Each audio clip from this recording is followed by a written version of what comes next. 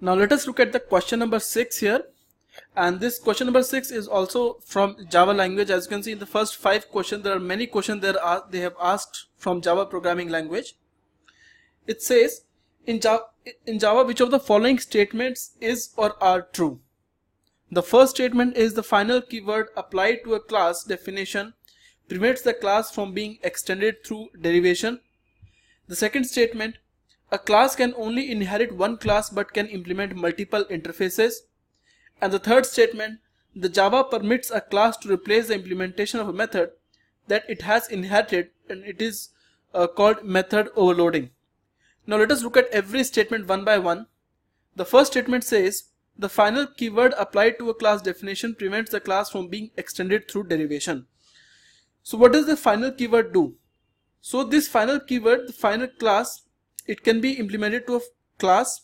I mean we can use a final keyword with the class. We can use the final keyword with a variable and we can use the final keyword with a method.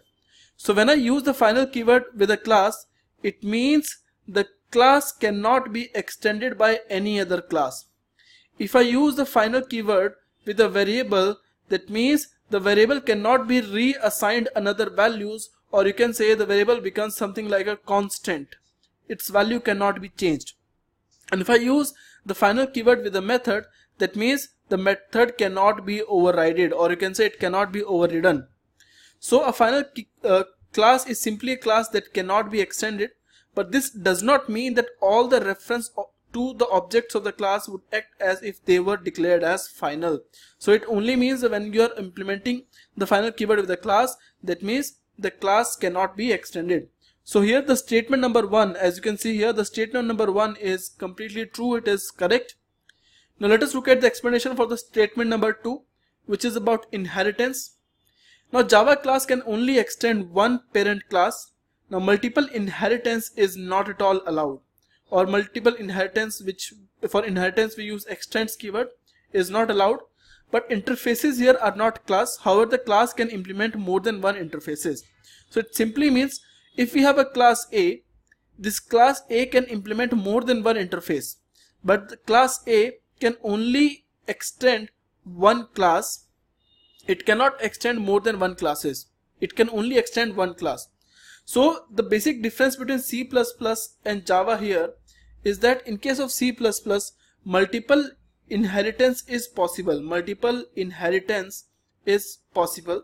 But in case of Java, multiple inheritance inheritance is not possible.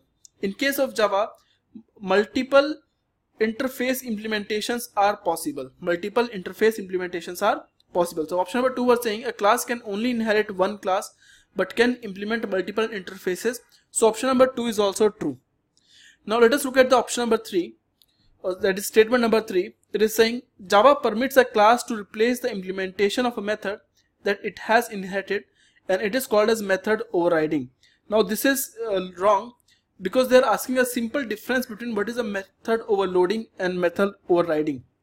Now in case of method overloading what happens is inside a class that means within one class we create two methods as you can see here we create two methods but these two methods only differ by their signature. Here you can see this method is not taking any input argument so its signature is different and this method is taking one integer number as an input argument. So in case of method overloading within a class we can create two methods but these methods will be differing according to their signature that is called as method overloading and whenever we call these methods we pass some parameters. According to the kind of parameters we pass it is decided that which of the following method will be called. Okay but when I say method overriding method overriding means we'll be having one class this class will be having a method we'll be having another class and this class will be extending the first class. The difference is that here both these classes are implementing the same method. The both these classes are implementing exactly the same method but the I mean method with the same name but for this same name they may be having different functionalities. So here for this class which inherits the first class here this method is overriding the first method. So it is overriding overriding the first method. Okay so in method overriding the signature can be same but uh, the functionalities can be different different according to the overriding but in case of overloading the signatures should be different. Okay now here you can see that java permits a class to replace the implementation of a method that it has inherited and it is called as overloading. It is not overloading actually. Uh, this is overriding. So uh, java permits a class to replace the implementation of method that it has inherited. Yes okay it is called method overloading. No it is called as method overriding. It is called as method overriding. Overriding. Okay so option statement number three is false here. Only statement number one and statement number two here they are true and statement number three here is false. Okay so the answer to this is statement number one and true only statement number three is false. Answer is option number one. Now let us look at the question number seven here